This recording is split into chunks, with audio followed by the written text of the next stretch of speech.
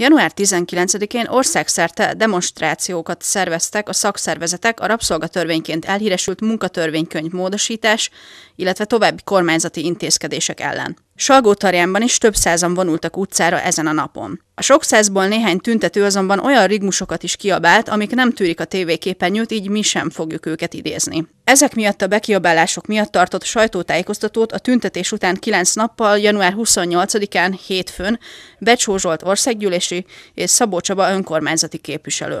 Ezt a politikai kultúrát, ezt a politikai kultúratlanság, kultúratlanságot nem legitimálhatjuk azzal, hogy nem emelünk szót ez ellen. Salgótarján jó érzésű lakossága nem ért egyet azzal, hogy ilyen megnyilvánulásokkal békétlenséget szítsanak a városban a politikusok. A kormánypárti politikusok azt várják, hogy történjen nyilvános bocsánatkérés az ominózus kijelentések miatt. A keresztény ember erénye a megbocsájtás. Ehhez azonban véleményem szerint bocsánatot is kell kérni. Elvárjuk, hogy a felelősök, a szervezők vonják le a konzekvenciákat, és nyilvánosan kérenek bocsánatot a város lakosságától. Bár a tüntetést a szakszervezetek szervezték, a Salgótörjáni baloldal a hivatalos Facebook oldalán már január 20-án elhatárolódott ezektől a bekiabálásoktól. A sajtótájékoztatón becsúzsolt kérdésünkre el is ismerte, hogy valóban megjelent egy ezzel kapcsolatos közlemény, de azt szerintem nem volt eléggé egyértelmű. Véleménye szerint fel kellett volna sorolni tételesen azokat a kifejezéseket, amiktől elhatárolódnak. Konkrétan meg kellett volna nevezni, hogy ezekkel a kijelentésekkel, ami a tömeg részéről, vagy a tömegből, mondom idézőbe teszem a tömeget, néhány ember részéről megnyilvánulásra került, ettől elhatárolódunk. Nevesítetten. Az országgyűlési képviselő sajtótájékoztatóján a tüntetésen a felszólalók részéről elhangzottakra is. Szerinte például nem indokolt a rabszolgatörvényel szembeni ellenállás, inkább a kormány támogatására és az együtt gondolkodásra van szükség. Azt gondoljuk, hogy ha feltesszük a kérdést, Salgótarján jelenlegi társadalmi gazdasági helyzetében, hogy indokolt-e az ellenállás, akkor a mi véleményünk határozottan az, hogy nem.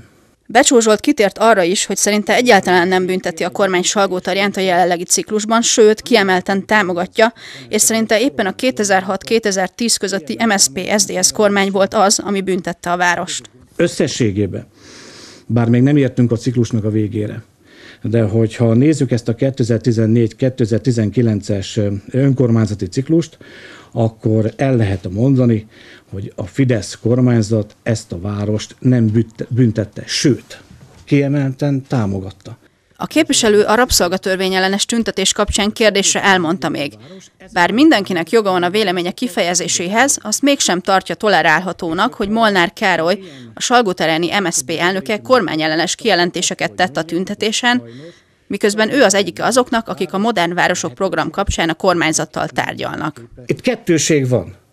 Én nem akarom kétségbe vonni az ő jogukat ahhoz, hogy nekik ez a véleményük, és nem azt mondom, hogy tiszteletbe is kell tartani természetesen, nekem más a véleményem.